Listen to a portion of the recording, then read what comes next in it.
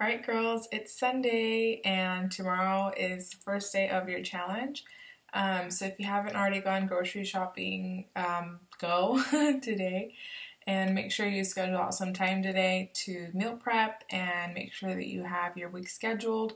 Um, my best advice is to like use like a planner or something if you have one. If not, you can use your phone or a journal or something. But I think with the planner, sometimes it helps with the dates you know, kind of just scheduling out your week, um, scheduling your workouts, make sure they're non-negotiable, treat them like appointments. You know, if if you have like a pretty consistent week um, with the stuff that you do, whether it's work or school or activities, you know, find 30 minutes in your day that you know can be yours. That that's your time. You're not going to be bugged.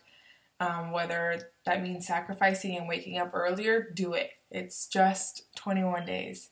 Um, or if that means staying up later. I mean, you have to make sacrifices. You know, you have to be willing to make sacrifices when you want to reach your goals. And I know I tell you guys all the time that success is inconvenient. You're never going to have the time um, don't wait until the stars and the moon and the sun are all aligned because it's not going to happen. Life is always going to get in the way. You're always going to be busy. There's always going to be someone who needs you.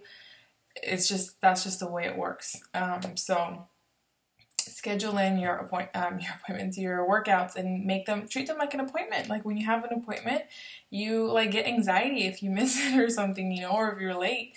Um, you know, treat your workouts that way. Um, you know, you're doing this for you, and it's important. Um, so that should be a priority.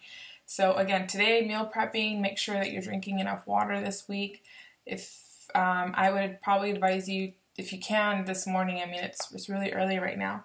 Um, take your before pictures, your weight, and your measurements, and um, you won't be doing this again until um, day 21. Basically, um, your goal should be to not be weighing yourself every day um, you don't even need to do it once a week. Just I would just do it, you know, on day zero and then day 21.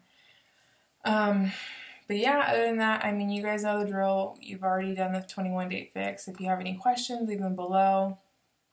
Um, if you're wanting to try new recipes, um, you know, you guys can go through the old group for today. I, I'll just I'll be closing that out like probably late tonight.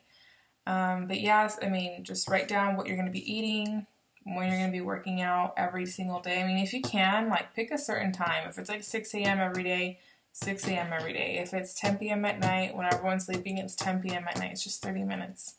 If you're going to be using heavier weights, you can go ahead and go to Walmart today, get some heavier weights. Um, but other than that, you guys should be good. I'm excited.